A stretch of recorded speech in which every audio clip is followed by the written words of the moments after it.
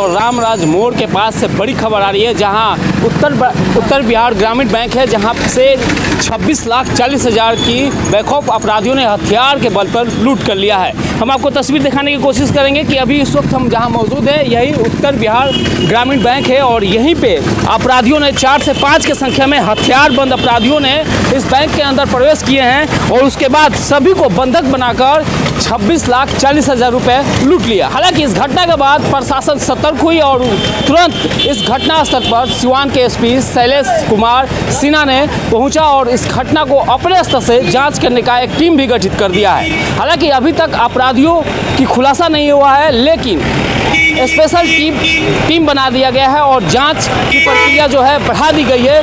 जगह जगह पुलिस की तैनाती कर दी गई है। देखना होगा क्योंकि सिवान पुलिस के लिए एक बड़ी चुनौती है। लगातार इस तरह की घटनाएँ सिवान में होती आ रही है और आज की जो घटना है सबसे बड़ी घटना घटी है जो कि 26 लाख चालीस हज़ार की लूट की गई है। ये कोई छोटी रकम नहीं है। देखना होगा कि सिवान पुलिस इस पर कितना सफल होती है। क्या है कितनी की लूट है कैसे क्या कुछ हुआ सर? अभी ग्रामीण बैंक में करीब सवा दस बजे चार लड़के जो स्टूडेंट टाइप के दिख रहे हैं चार लड़के घुसे। और सेफ़ खोल के करीब 26 लाख रुपए की लूट की है उन लोगों ने।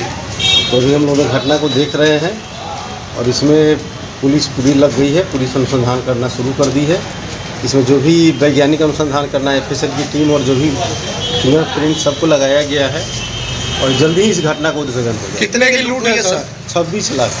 छब्बीस लाख की लूट हुई है? हाँ, जैसा बता रहे हैं। अच्छा हाँ दो महिलाएँ थी उनको कब्जे में लेकर यह घटना कराई और किस चीज़ से सर थे? क्या पता चल रहा है कुछ?